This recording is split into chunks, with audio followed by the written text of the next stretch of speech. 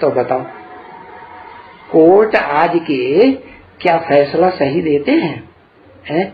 जितने जेलों में पड़े हुए हैं, उनमें सच्चाई क्या है? जो जेली जेल भुगत रहे हैं, वो 50 परसेंट से ज़्यादा सच्चे जेल भुगत रहे हैं या झूठे जेल भुगत रहे हैं?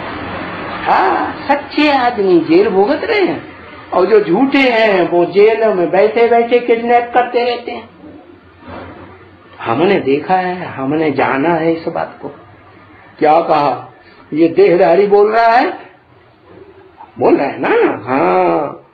तो हम जानते हैं कि जेल में बैठे बैठे नोटों की गड्डियाँ आ जाती हैं और फिर वो उन गड्डियों को जेल के बड़े बड़े ऑफिसरों को बांट देते हैं। हिस्सा बांट कर लो, हम भी ले लें, तुम भी ले लें, चुपचाप हो जाओ। बात खत्म।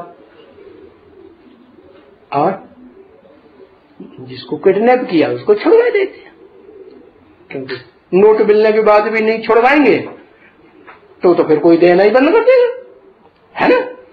तो ये सब धंधे जेल में भी चलते रहते तो बताओ, वो जेल में पड़ा हुआ कैदी जो किडनैप करवा रहा है, वो सच्चा है कि झूठा है? झूठा है ना? तो झूठे लोग जो हैं, वो जेल में पड़े हुए हैं। लेकिन ईश्वर की दृष्टि में झूठे हैं कि सच्चे हैं?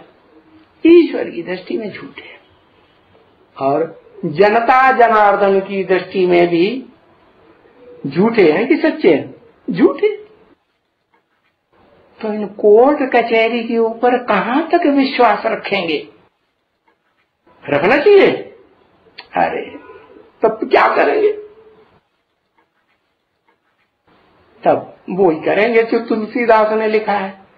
जिनके कछु और आधार नहीं, तिनके तुम ही रखवारे हो। क्या कहा?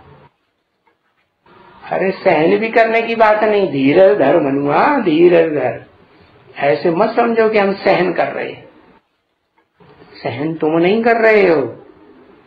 तुम्हारे जो कर्म खोटे हैं ना वो तुमसे सहन करवाए रहे।